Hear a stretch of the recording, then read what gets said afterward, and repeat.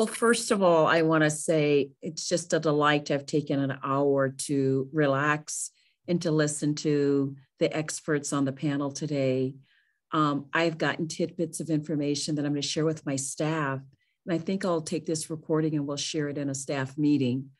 Uh, not to promote me, I'll tell them, listen to the other experts. How's that? But I love the, the words of wisdom and inspiration.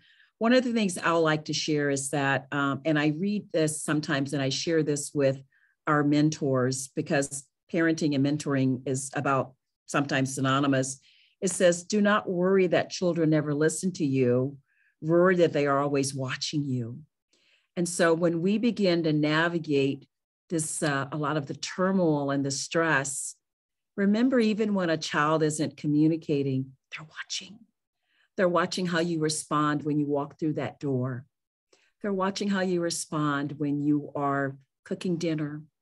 They're watching how you respond to your mate or your partner or your friend and they they absorb anxiety they absorb if you're tense they absorb if you've had a bad day and not that we can't have a bad day but at times when we're trying to uplift children we have to sometimes check things at the door a little bit and um, allow for that child who may have had a bad day. Maybe they were bullied at school and all they want is their loved one to to to to they want to be com- they want to be comfortable talking to their loved one about that.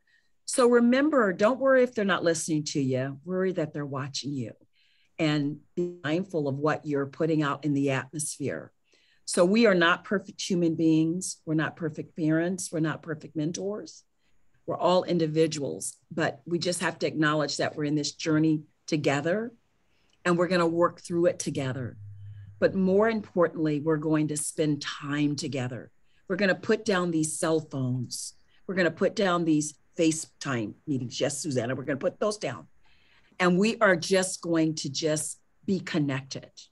And that might be doing a puzzle, it might be going out for ice cream, it might just be looking each other in the eye until one person speaks. But uninterrupted quiet time with your children is critical. It's critical because it's space that they have just with you. So those are the things that I've learned, Susanna, that we're on this journey together. Life's been really rough for us, but we're we're surviving one day at a time, one hour at a time, one minute at a time, one second at a time. And that's all we can do.